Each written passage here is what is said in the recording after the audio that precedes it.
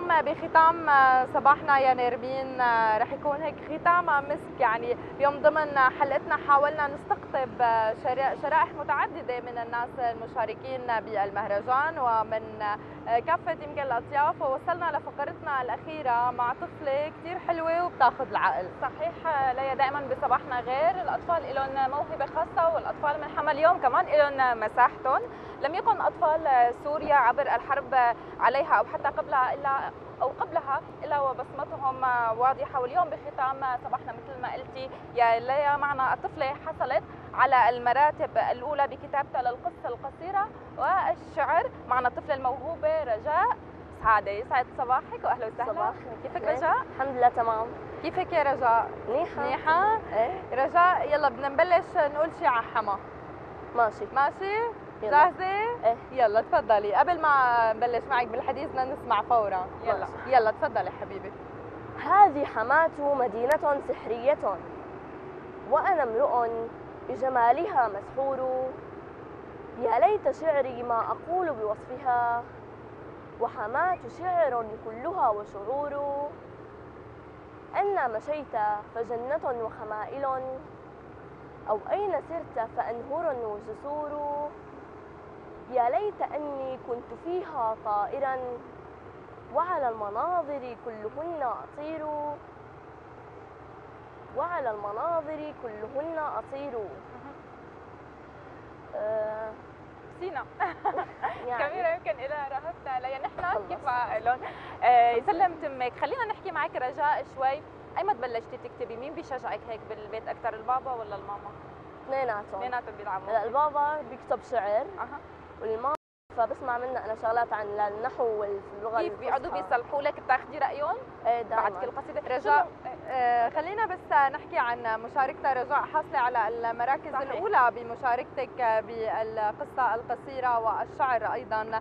خلينا نحكي يمكن بشو شاركتي وكيف تفوقتي يمكن وشو هي وشو هو الشيء اللي تميزتي فيه لحتى حصلتي على المرتبة الأولى؟ كنت بالصف الرابع بمدرسة الإخلاص. كان في بالأولمبياد العلمي شاركت بالقصة. كان معنا الكاتب الكبير الأستاذ نزار نجار. أه، وطلعت بالمرتبة الأولى بالقصة أنا كتبت القصة. وهي عبارة عن أه، القصة بتألف من مقدمة. بعده بتجي حبكة القصة وبالأخير أه، تنتهي بخاتمة بنقدم فيها عبرة للناس. طيب آه، رجاء خلينا نحكي شوي شو المواضيع اللي بتحبي تكتبيها أكثر شيء؟ بحب تكون عن الجلاء أو كذا. مواضيع يعني اجتهاد. وطنية إيه. إذا بدنا نقول. بتحبي تسمعينا شيء ثاني منك حضرة شيء عن الجلاء يلا. يا عروس المجد تيهي واسمحي. يا عروس المجد تيهي واسحبي في مغانينا ذيول الشهب.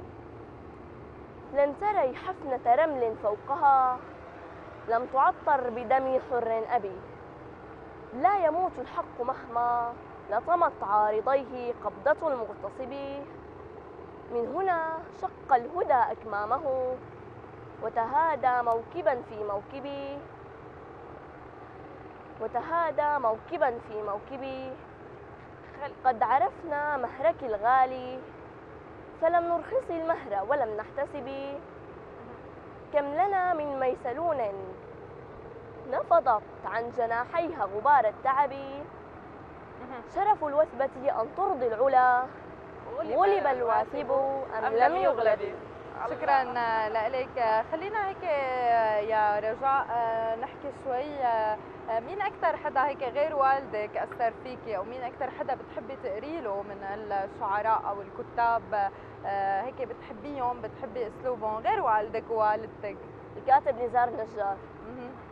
هو كان لأنه معنا بالأولمبياد العلمي بالقصة لما أنا فزت هو اللي كان عم يدربنا. احكي لنا؟ احكي لنا عن القصة يلي شاركتي فيها ويلي فزتي فيها. كانت القصة عبارة عن طفل صغير كان ما بيحب العلم والدراسة. شاف أبوه لما كان ضابط شلون صار جريح وما قدر يكمل مشواره بالدفاع عن الوطن. فقرر هذا الطفل يطلع ضابط ودرس واجتهد وطلع ضابط. وكتبت إنه العبره من هي القصة هي إنه الواحد يحقق كل أحلامه شو ما كانت وأحلى حلم إنه دفاع عن الوطن. رجاء خبرنا شو بتعملي بوقت الفراغ؟ يعني بعد الدرس من نقرا نكتب ولا شو بتحبي أكثر شيء هيك تعملي بوقت فراغك لحتى تنمي مواهبك أكثر وأكثر بقعد بكتب يومياتي أو كذا وبعزف كمان. بحب العزف على آلة الأورج مشاركة بدورة. نعم. رجاء آه، قبل ما ننهي حديثنا حبيت تقولي لنا شيء ثاني كمان؟ شيء ثالث لا ما عندي شيء خلص خلاص؟